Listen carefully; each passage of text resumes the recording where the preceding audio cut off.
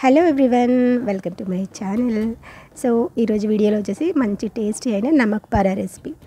వీటిని చిన్నప్పుడు చాలా చాలా ఇష్టంగా తినేవాళ్ళం కదా. సో ఇప్పుడు కూడా పిల్లలు ఇవంటే చాలా ఇష్టపడతారు. పిల్లలే కాదు పెద్దవాళ్ళకు కూడా చాలా చాలా ఇష్టం.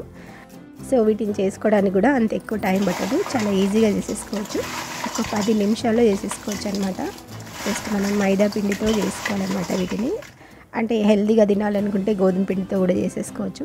ఇక్కడైతే నేను ఒక ఒక వన్ గ్లాస్ వరకు మైదా పిండి తీసుకున్నాను. దాంట్లోకి కొంచెం వాము దాన్ని కొంచెం ఇట్లా నలిపేసి వేసుకోవాలి హాఫ్ స్పూన్ వరకు. చూస్తున్నారు కదా దాంట్లోకి సరిపడా సాల్ట్ ఒక వన్ స్పూన్ వరకు. అట్లా వేసేసుకొని పిండిని ఒకసారి మిక్స్ చేసుకున్న తర్వాత దీంట్లోకి కొంచెం వేడి వేడి నూనెని వేసుకోవాలి. ఒక టూ టేబుల్ స్పూన్స్ వరకు వేసేసుకోవాలన్నమాట. అట్లా వేడి నూనెని వేసేసుకున్న తర్వాత ఆ పిండిని అంతా కొంచెం మెల్లగా మొత్తం మిక్స్ చేసుకోవాలి. చూస్తున్నారు కదా అట్లా కొంచెం మెల్లిగా చేసేసుకోవాలన్నమాట ఈ పిండిలో నెయ్యి కానీ బటర్ కానీ లేదా డాల్డా ఏదైనా వేసుకోవచ్చు అనమాట సో ఇక్కడ ఆయిల్ వేసుకున్నా కానీ చాలా టేస్టీగా వస్తాయి. ఆయిల్ అంతా అట్లా మనం కలిపేసిన తర్వాత పిండి ఇట్లా గట్టిగా ముద్దలాగా రావాలి మనం పట్టుకొని చూస్తే. అప్పుడు కరెక్ట్గా వస్తుంది అనమాట సో అట్లా కొంచెం కొంచెం వాటర్ని యాడ్ చేసుకుంటూ మనం పిండి ముద్దని తడిపి పెట్టుకోవాలి. చాలా కొంచెం వాటరే పడుతుంది దీంట్లో మరీ ఎక్కువ పోయకండి. ఎందుకంటే మైదా పిండి కాబట్టి. సో అట్లా కొంచెం గట్టిగానే ఉండాలి పిండి అనేది. దాన్ని ఒక ఫైవ్ మినిట్స్ అట్లా పక్కకు పెట్టేసి ఫైవ్ మినిట్స్ కాదు టూ మినిట్స్ పెట్టేస్తే చాలు. తర్వాత దాన్ని తీసుకొని బాగా నీడ్ చేసేసుకోవాలి ఒకసారి. చూస్తున్నారు కదా?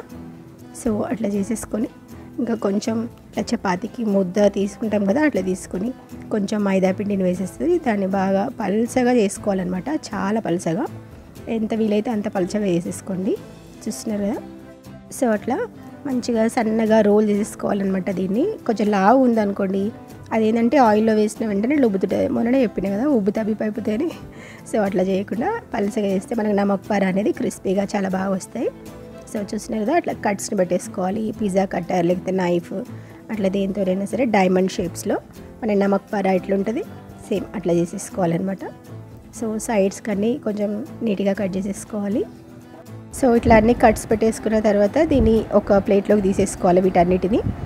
మంచిగా నీట్గా వచ్చేస్తాయి అనమాట ఎందుకంటే మనం మైదా పిండి జల్లేసి ఇది రోల్ చేసినాం కాబట్టి చాలా నీట్గా వస్తాయి. చూసినారా? స్టిక్ అయిపోకుండా. మీరు పిండి జల్లకుండా చేసినట్టయితే అది పీటకు అంతా అతుక్కోవుతుంది మళ్ళీ టైం అంతా వేస్ట్ అయిపోతుంది అనమాట సో ఆ పిండిని అంతా తర్వాత మనం ఇట్లా కొంచెం చేతితో అనేస్తే అది పోతుంది. పోయిన తర్వాత మనం ఆయిల్లో డీప్ ఫ్రై చేసేసుకోవాలి. వాటన్నిటిని ఒకసారి ఇట్లా కొంచెం కొంచెం వేసేసుకుంటే సరిపోతుంది. చూడండి. అవి కొంచెం అతుకుపోయినట్టు అయినా కానీ ఆయిల్లో వేయగానే విడిపోతాయి అనమాట సో అంతే.